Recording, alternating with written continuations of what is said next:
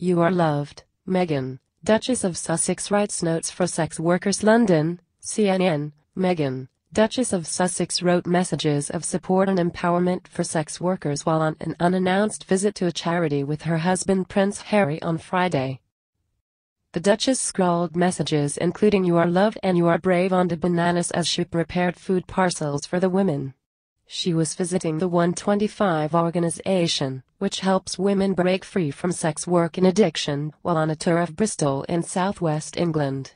Meghan appeared to spontaneously decide to write the messages while in the charity's kitchen, asking staff if they had a marker pen she could use. Do you have a Sharpie? She asked, according to video of the visit. I have an idea. Messages written by the Duchess during her visit to the charity.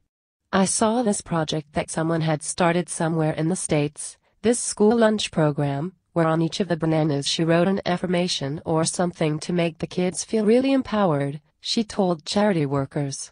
It was this most incredible idea, this really small gesture, she said, declaring, I'm in charge of the banana messaging.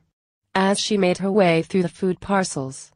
The charity thanked the royal couple for their visit on Twitter afterwards, writing, What an honor to have you visit. Big smiles on all our faces. The Duke and Duchess tour of Bristol went ahead despite snow and frigid temperatures in the region grounding flights at the city's airport and causing travel chaos across Britain. Earlier in the day, Meghan heavily pregnant with the couple's first child had made a speech to young people championing the importance of the arts at the city's Old Vic Theatre. The former actress starred in U.S. television drama Suits for seven years before her engagement, and was recently named patron of London's National Theatre. What do you think? Share your thoughts in the comment section below and don't forget to subscribe to get instant news update.